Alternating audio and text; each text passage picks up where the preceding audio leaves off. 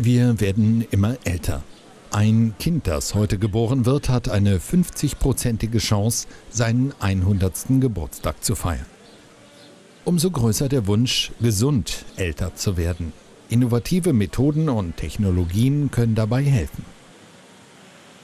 Welche neuen Erkenntnisse es auf diesem Gebiet gibt und welche Chancen sie für die Wirtschaft in Mecklenburg-Vorpommern mitbringen, das wurde auf einem Symposium in Rostock diskutiert. Intelligentes Wohnen, medizinische Apps, Sehtrainings, Bewegungssensoren und vieles mehr wurden vorgestellt. Projekte, die älteren Menschen den Alltag erleichtern sollen.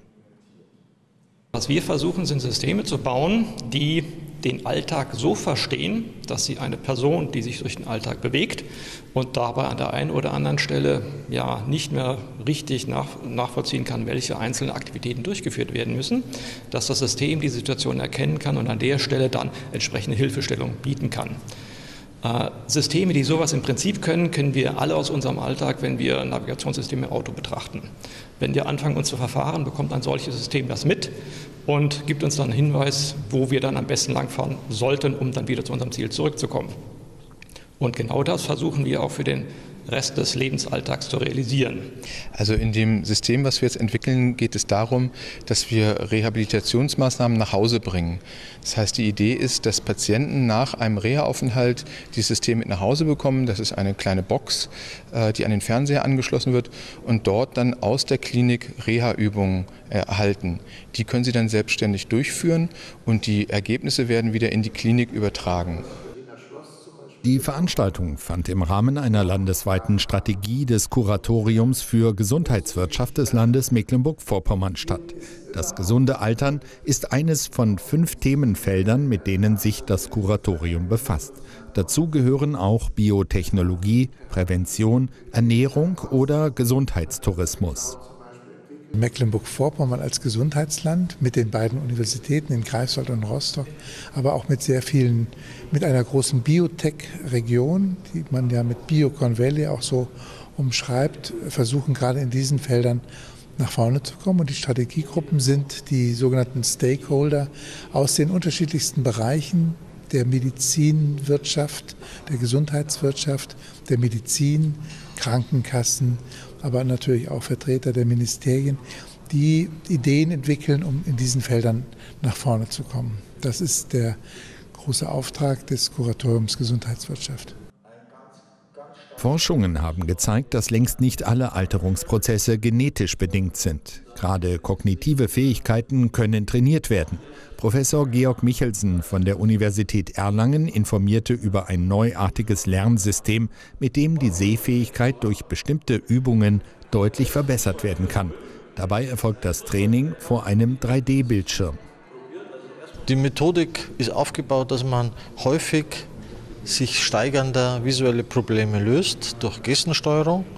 Und auf diese Weise wird das Gehirn, also der visuelle äh, Cortex, trainiert, um schwieriger werdende visuelle Probleme äh, zu lösen. Das ist so eine Art Training des visuellen Cortex und auf diese Weise kommt es zu einer Verbesserung des Sehens.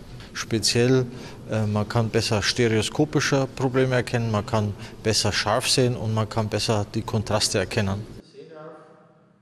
Bei jüngeren Personen haben sich schon erste Erfolge gezeigt. Ob das Training auch das Sehvermögen älterer Menschen verbessern kann, soll jetzt getestet werden, unter anderem in Kooperation mit der Rostocker Augenklinik. In der Demenzforschung hat es vor allem im Bereich der Wohnraumforschung einen enormen Entwicklungsschub gegeben, aber auch technische Hilfsmittel wie Herdüberwachung oder Notfallhandy sind längst keine Zukunftsmusik mehr. Anders bei Robotern oder Exoskeletten, die körperlich eingeschränkten Menschen helfen sollen. Wie Alf Reuter vom Bundesinnungsverband für Orthopädietechnik betonte, sei es nach wie vor eine große Herausforderung, diese Innovationen auch alltagstauglich zu machen. Die Verbindung zwischen dem Gehirn und dem Hilfsmittel, die fehlt. Und das wird einen, einen riesen Paradigmenwechsel geben in dem Moment, wo diese Verbindung da ist. Ähm, die Forschungen laufen, aber man ist da schon sehr, sehr lange dran, aber man bekommt einfach nicht ähm, die Verbindung zwischen der Orthese oder Prothese und dem Gehirn so hin, dass man das wirklich selber ansteuern kann, weil die menschlichen Bewegungen sind so komplex ähm, dass man die mit einfachen An-Aus- oder Vor-Zurück-Befehlen ganz einfach nicht steuern kann. Die praktische Umsetzung der neuen Erkenntnisse scheitert aber häufig auch an der Tatsache, dass die Finanzierung über die gesetzlichen Krankenkassen noch nicht gewährleistet ist. Dennoch, die Veranstaltung hat gezeigt, es gibt einen Markt für innovative Gesundheitsprodukte. Mecklenburg-Vorpommern kann dabei eine Vorreiterrolle einnehmen, insbesondere was telemedizinische Projekte für den ländlichen Raum angeht.